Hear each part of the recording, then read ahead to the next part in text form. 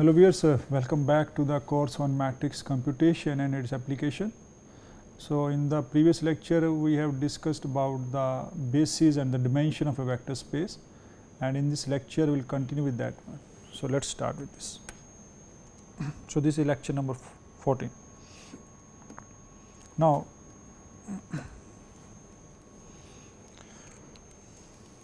so in the previous one we have discussed that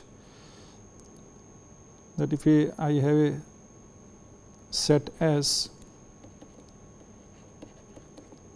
which contains n number of elements and that S spans the whole vector space V, then then any subset of V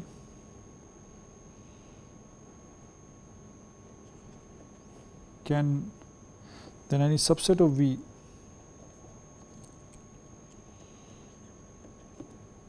cannot have more than more than n number of n more than n numbers of linearly independent vectors. So, that we have seen. now, there is a corollary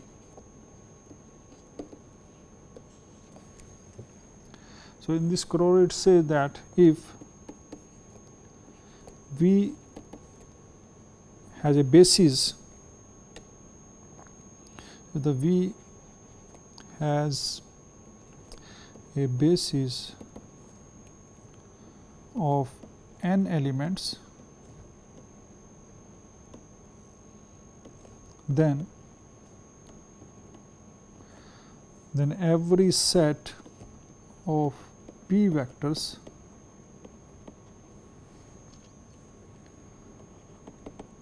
with p greater than n is linearly dependent. So, that we already we also seen using the one example because the V has a basis which contains n elements it means that V is n dimensional and then every set of p vectors with p greater than n is LD. So, that we have already seen also. Now, after this one we can have some another corollary.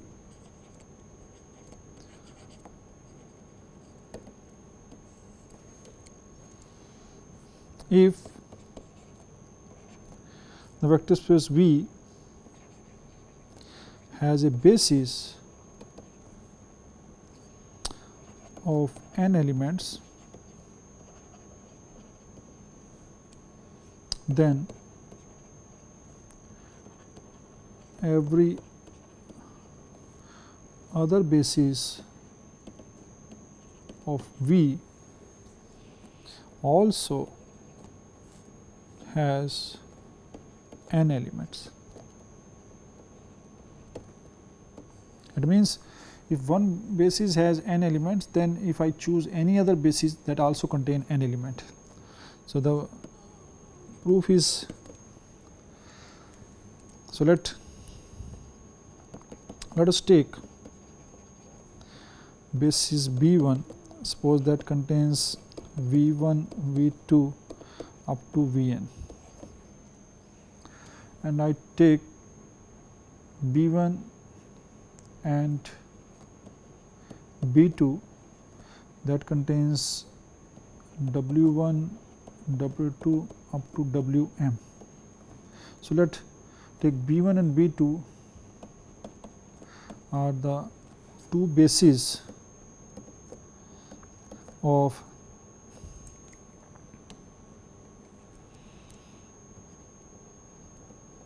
basis of vector space V that is B1 spans V and B2 also spans V. Now, we have to show that n is equal to m. now, since B 1 spans V and B 2 is W 1, W 2 up to W m is L i. Then using previous theorem we have that m will be less than equal to n. In the previous theorem we have discussed. So, this is the first one. Second one similarly B 2 spans V because it is a basis. So, if it is a basis definitely will span and B 1 that is containing V 1, V 2 up to V n elements is L i. So, it spans V and this set is L i which implies that V which implies that n definitely will be less than n.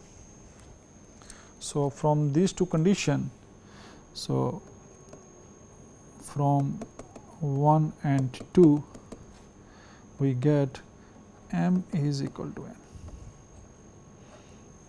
So, if I choose any two bases then they will contain the, the set will contain the same number of elements in that basis. So, this is the proof we have done. Now, so after this one we can discuss about the standard basis.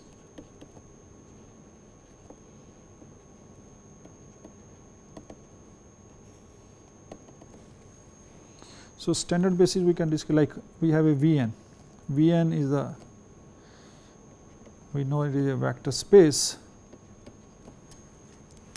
And Vn contains all the elements like this one x 2, x 1, x 2 up to x so that each x i belongs to real line. So, this is vector space over the real line that we already know this one.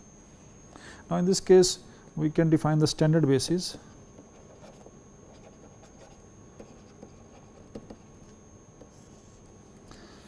The first basis I can define as E 1 that is I can write 1 here and 0 0 0. Another I can define the vector 0 1 0 0 so on and in the last I can define E n that contains 0 0 0 1. So, this all belongs to V n. Now, how they are the standard basis? Now, we can check check the set E 1 E 2 up to E n. So, this is the set is L i. So, why it is L i? Because the corresponding matrix will get 0 1 0 0 0 up to 1. So, you will get only unit matrix or identity matrix. So, we call it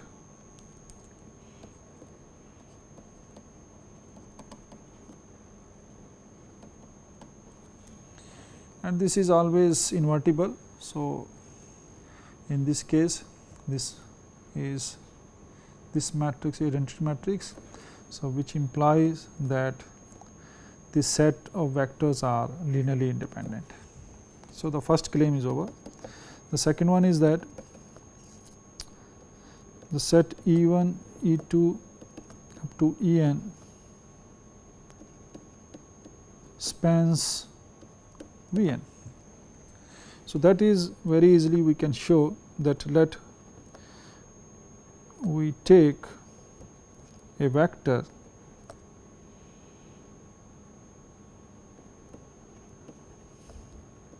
say x 1 x 2 up to x n belongs to V n.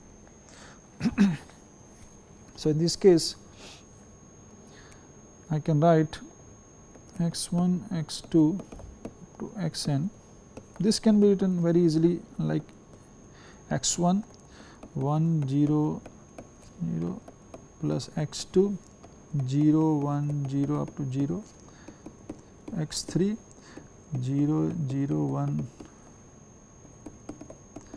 and x n 0 0 up to and I maybe I can write x 1 e 1 plus x 2 e 2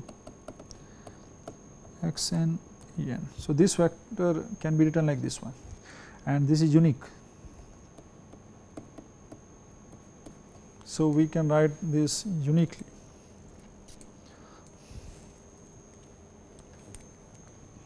So, from here I can say that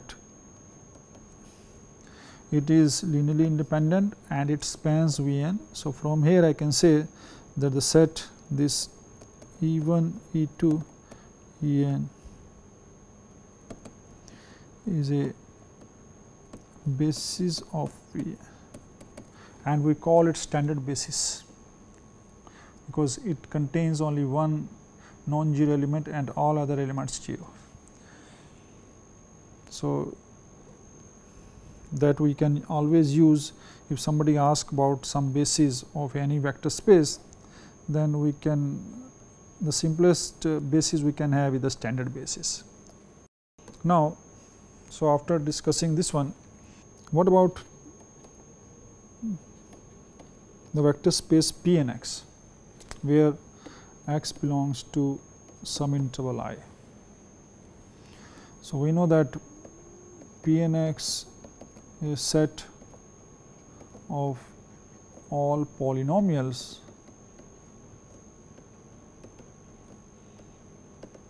with degree less than equal to n and x is coming from the interval. So, we know that it is a vector space. So, in this vector space the standard basis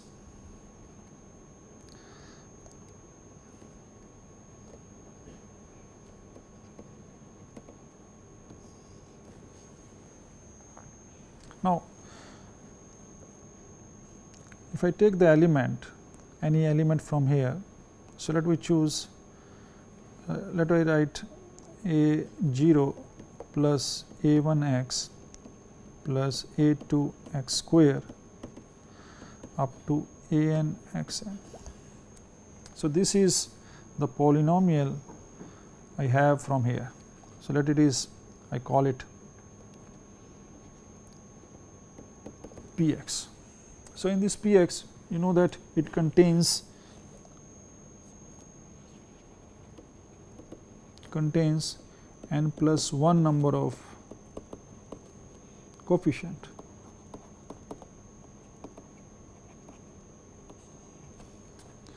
So, this I can write as a 0 a n x n. So, this I can write as a 0 plus a 1 and then x plus a 2 x square plus a 3. So, this is just a vector I am taking a 3 x 3 a n x power n.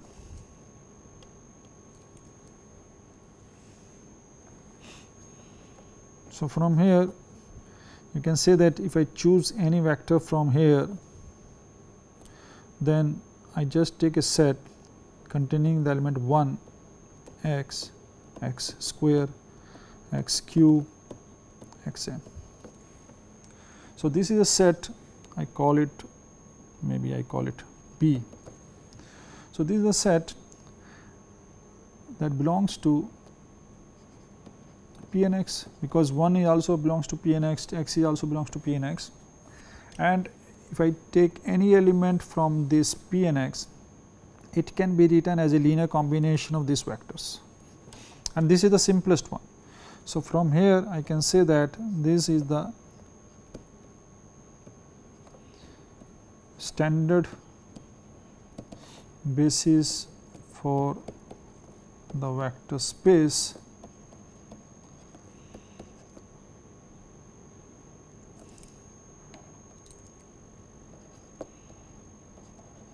P n x and from here and this vector contains n plus 1 number of elements. So, from here I can say that P n x is a n plus 1 dimension.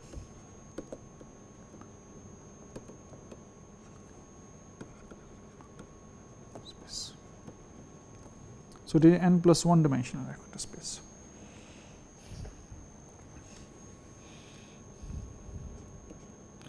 Now, from here we can define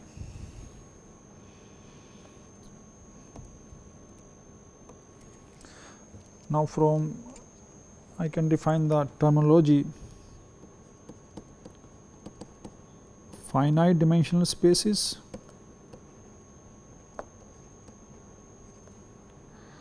Finite dimensional vector spaces. Where so, these are the those whose basis contains finite number of elements. Like we have seen Vn and Pnx like this one. And another is infinite dimensional.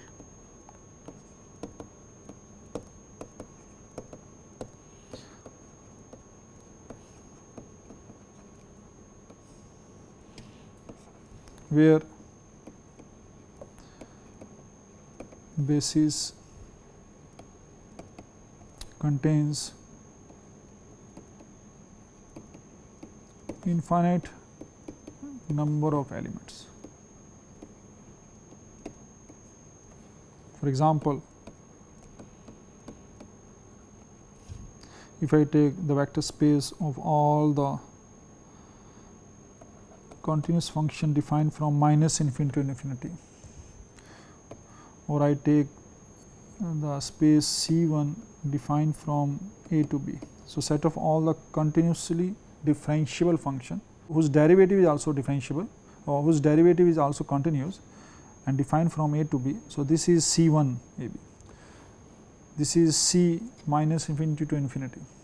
So, all these functions make the vector space and this is infinitely dimension because they cannot be represented by finite number of elements from that set.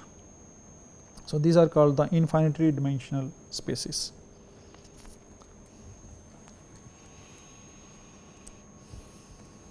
Now, from here there is a one more result that in a n dimensional.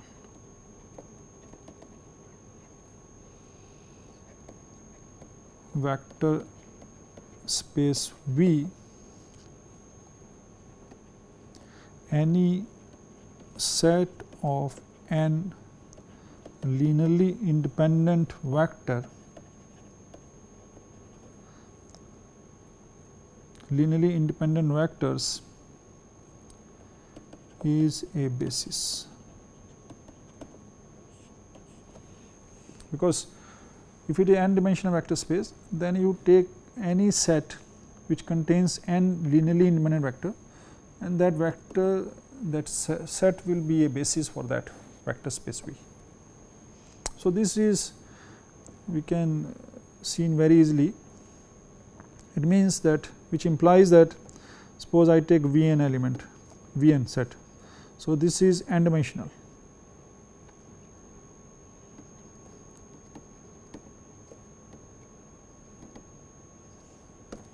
So, if I take a set S which contains n number of elements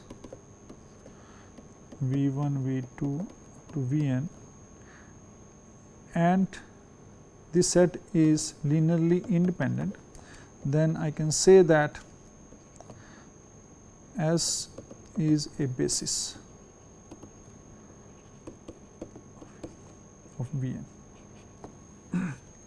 so, if it is linearly independent then it will definitely it will span the whole vector space Vn.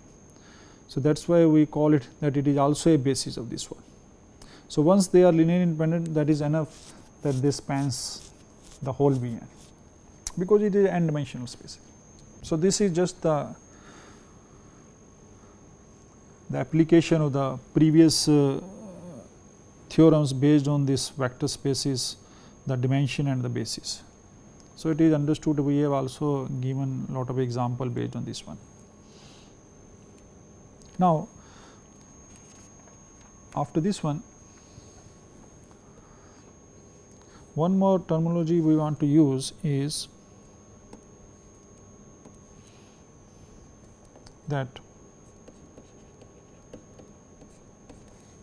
theorem that that in a vector space V let I take a basis B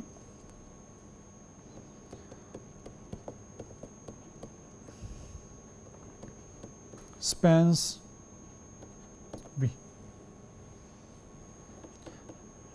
then the so I just write a, a set B which spans B I do not know what is whether it is a basis or not then the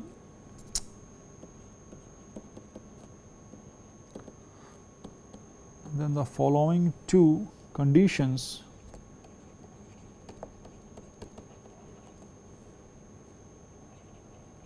are are equivalent. The first one is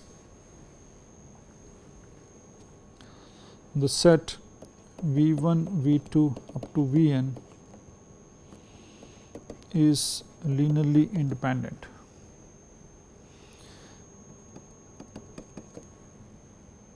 So, it spans V that is ok. Then I can say that V 1 V 2 V n is Li or I can say that if if I take any element V from V then the expression V is equal to alpha 1 V 1 alpha 2 V 2 alpha n V n is unique.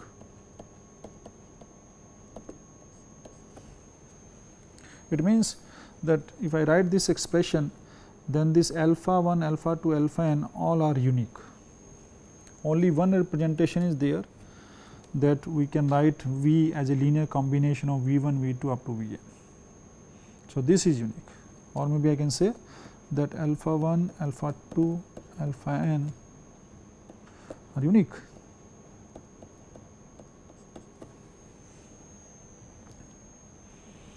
So, either it is Li or it is unique both things are same. If it is Li then it is unique and if it is unique then definitely it is Li. So, just it can be seen very clearly because it spans this one.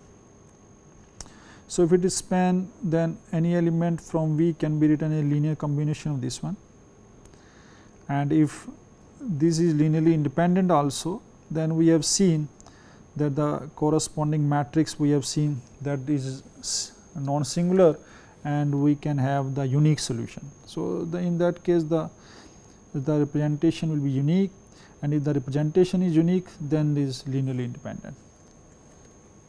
So, we can uh, uh, just understand from this one and it is up to the viewers to understand and to do the proof for this one. It is very simple. Now, after this one, let us do few examples based on this.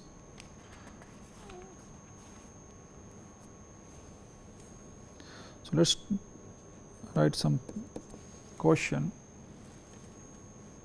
Suppose I set the I have a set S So, this is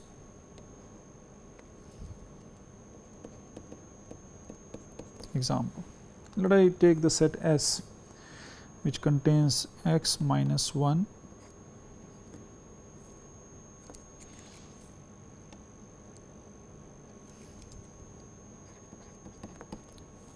and x square plus x minus 1 x square minus x plus 1 and suppose my vector space V is P 2. Okay. So, I want to check check S is a basis or not. So, this one we have to check and now I am taking the V as P 2. So, P 2 means set of all the polynomials of degree less than equal to 2. So, this one I want to check. Now, first we need to check S is linearly independent. So, for this one what I am going to do is I will take a x minus 1 plus b x square plus x minus 1 plus c x square minus x plus 1 and then it equal to putting equal to 0. 0 means 0 polynomial.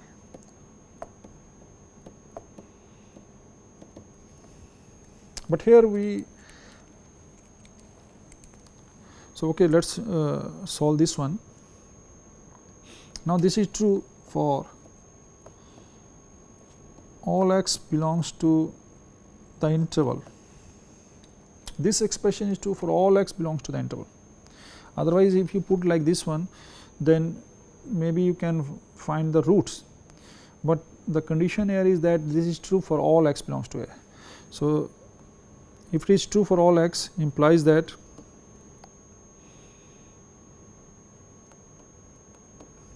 the coefficient should be same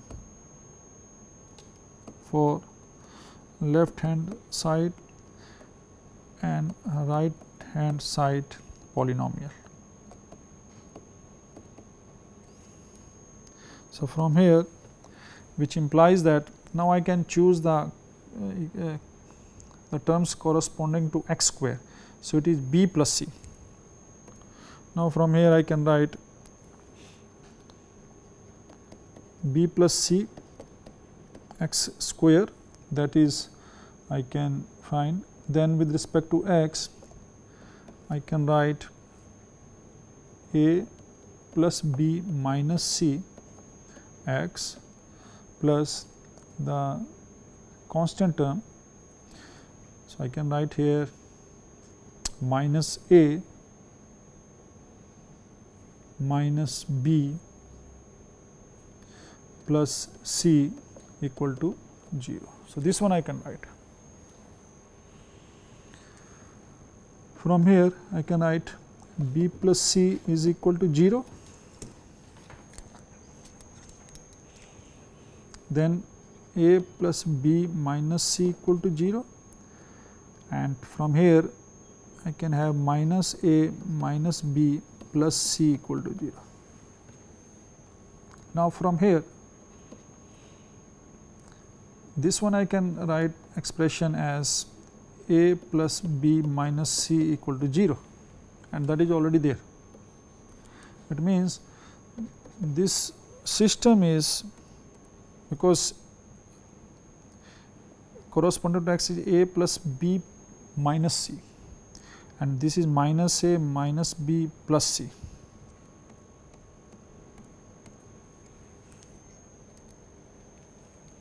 and this is both are same. So, it means I have a system of equation that is b plus c equal to 0, a plus b minus c equal to 0 and a plus b minus c equal to 0. So, this one equation is re redundant equation. So, from here I can say that this is the matrix with rank 2 because if I write the matrix corresponding matrix. So, it is 1 0 1 1 1 1 minus 1 and 1 1 minus 1 A B C equal to 0 0 0. And from here you can check that this matrix cannot be. So, A x is equal to 0 and rank of A in this case is always less than equal to 2. It cannot be 3 because just I can reduce this last row as a 0 here no problem and from here I can say that A is singular and which implies that the set S is linearly dependent. So, if it is a linearly dependent then from here I can say that the set S is not a basis for P 2